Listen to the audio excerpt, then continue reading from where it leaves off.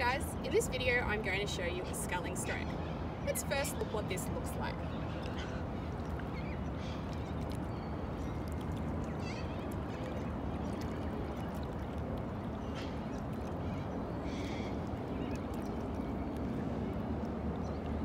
So that's what a sculling stroke looks like.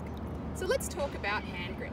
Again, this one is a medium hand grip, so shoulder to elbow apart.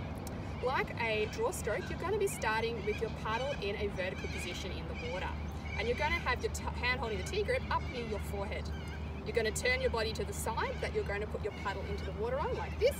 And you're going to have your blade submerged in the water, uh, most of the way submerged. When you're ready to begin the stroke, you're going to hold, keep one hand steady up near your forehead and you're going to use your bottom hand to move the blade in the water.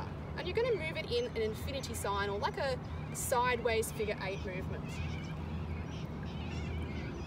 Just as I'm doing like this.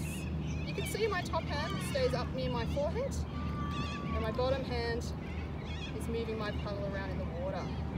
It's just my wrist to get that nice figure eight motion in the water. And when you're doing a sculling stroke like this, it's going to pull the canoe to the side that you're doing the stroke on.